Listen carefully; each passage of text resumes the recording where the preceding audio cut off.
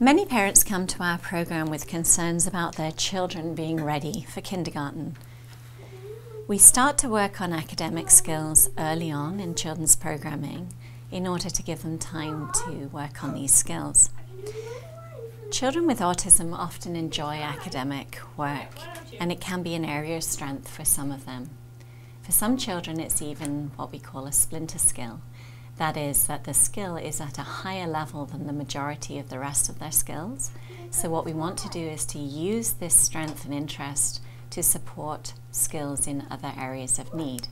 An example of this might be a child who is learning to read but cannot yet uh, use language spontaneously and functionally.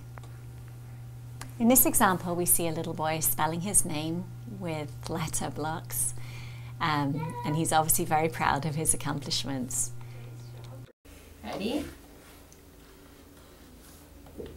Um, L. Good job. Here we see a little girl who's learning to label letters. B. B. This is an area of strength for her, so we want to use it to support other areas of her development. Good job, Ava.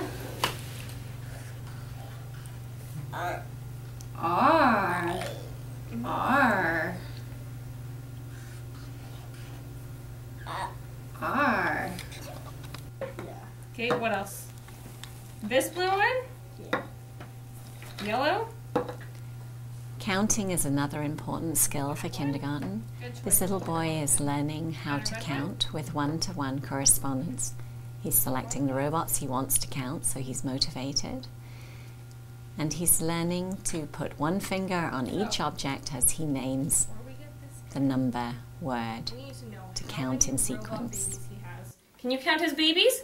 One, two, three, four, five. Very good, Alexander.